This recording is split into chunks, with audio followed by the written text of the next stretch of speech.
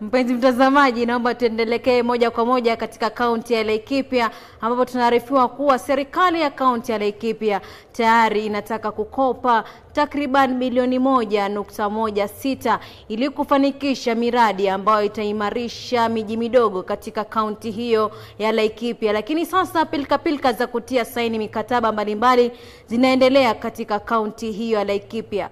Naam, labda tukitaka tu kupata undani wa hayo, mpenzi mtazamaji, itakuwa vyema tukiungana naye Paul Mwaniki ndio aweze kutudadavulia. Kwako Mwaniki.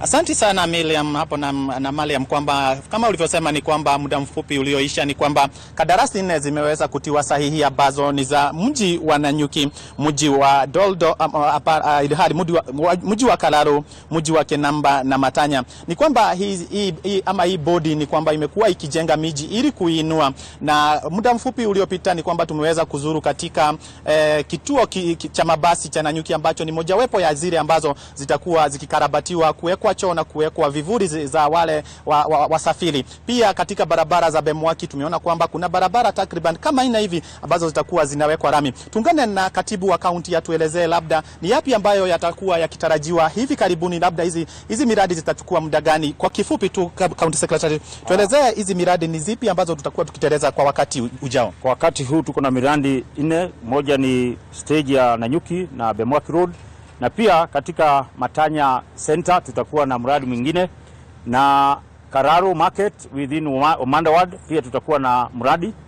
Na pia tutakuwa Kinamba pale Gedega Ward in Laikipia West na pia mogora karibu na barabara ya kwenda eh, Maralal kutoka Rumuruti.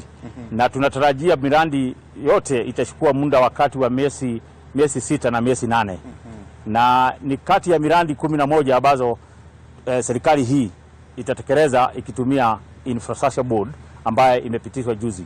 Kwa hivyo leo tumeweka sahihi na contractors na kazi itaanza mara wakati wowote mara moja. Mm. Asante sana County Secretary. Tuweze kuungana na engineer ambaye atahusika na haswa kuangalia hii miradi vile inatekelezwa. Maybe engineer, tueleze ni nini haswa utakuwa mkiangalia kuona kwamba wale makontrakta ama wale wenye kadarasi ambao umepea kazi wanazifanya kwa ule wakati unaofaa na kwa kuridhisha wananchi ambao ndio watakuwa kuwa wanalipa hii bodi ya infrastructure. So asanteni sana. Mimi naitwa engineer Mwangi, uh, chief officer wa barabara kaunti ya Laikipia.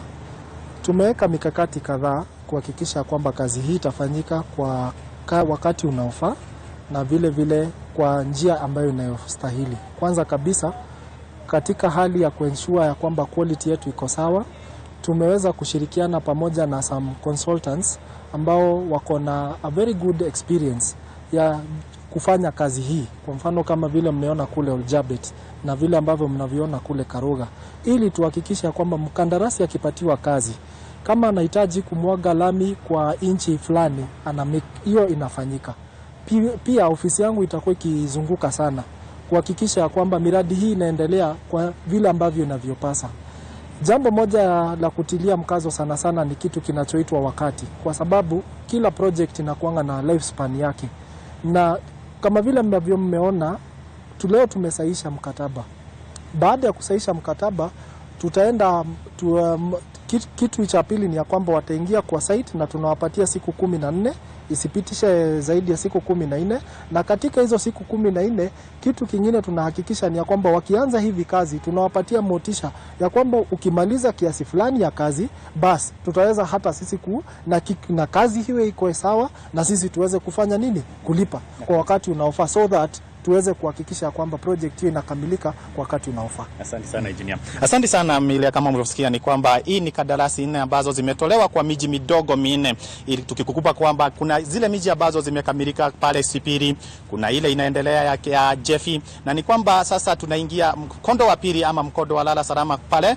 Hizi hii bodi ambayo serikali ya kaunti ya Laikipia imekuwa ya kwanza hapa nchini kukopa ya takriban bilioni moja nukta moja sita na hii ni kwa sababu ya miradi ya wananchi. Kulikurusha kwako kwa studio ni kutoka hapa katika makao makuu ya kaunti ya Laikipia, nambari 031. Jina langu ni Paul Mwaniki.